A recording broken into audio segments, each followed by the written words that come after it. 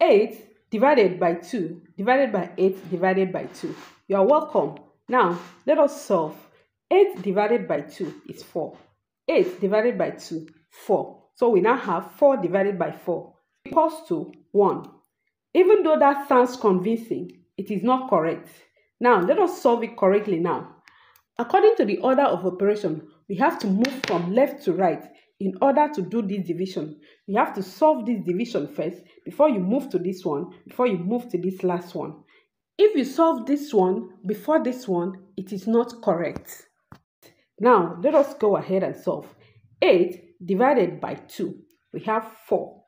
Now, our new expression is 4 divided by 8 divided by 2. 4 divided by 8 can be rewritten as 4 all over 8 divided by the 2 that was there. Now let's reduce 4 over 8 to its lowest term. 4 divided by 4 is 1 and 8 divided by 4 is 2. Now we have a new expression 1 over 2 divided by 2. Now I like to put 1 under this whole number 2 so that we can have both numerator and denominator. So I'm going to introduce 1 under this 2. So 2 over 1 is the same as 2. I did not change anything there. Here now, we are going to apply KCF. K is for keep, C is for change, and F is for flip. So for K, we are going to keep 1 over 2.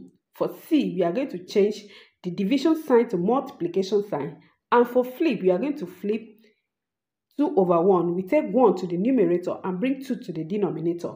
Now we have a new expression 1 over 2 times 1 over 2. 1 times 1 equals to 1 all over then 2 times 2 equals to 4. So our final answer is 1 over 4. That is the correct answer. Thank you for watching. Kindly like, share and subscribe to my YouTube channel. Bye.